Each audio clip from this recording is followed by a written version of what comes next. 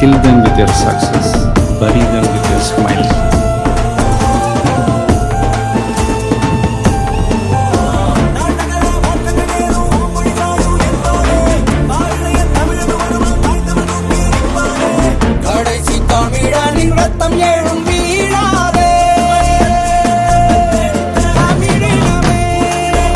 எனக்கும் என் ரசிகர்களுக்கும் அந்த வாழ